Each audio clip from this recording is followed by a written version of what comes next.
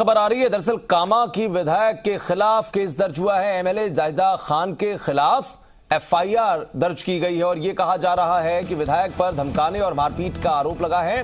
पहाड़ी थाना इलाके का मामला और पहाड़ी थाने में इससे जुड़ा हुआ एक केस दर्ज किया गया है। तो विधायक का जाहिदा खान के खिलाफ एफआईआर दर्ज हुई है। धमकाने का आरोप लगा है, मारपीट कराने का आरोप लगा है। फ़ोन लाइन पर देवेंद्र सिंह, जी मीडिया संवाददाता इस वक्त हमारे साथ मौजूद है। देवेंद्र, क्या कुछ ये मामला है जिसको लेकर एफआईआर हुई है?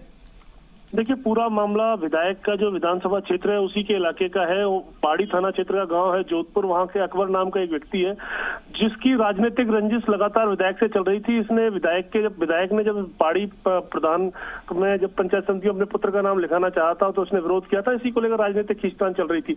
अब इसी बात को लेकर इस आदमी ने एक एफआईआर, जो अकबर नाम का व्यक्ति है, इसने एफआईआर दर्ज कराई है कि उसके साथ मारपीट की गई और ये सारी मारपीट विधायक जायदा खान के कहने पर की गई। विधायक जायदा खान ने उन्हें जान से मारने की धमकी दी और साथ ही एफआईआर में लिखा गया है कि अगर उसके और उसके परिवार के साथ कुछ होता है तो इसकी जिम्मेदार विधायक जायदा खान होंगी जी।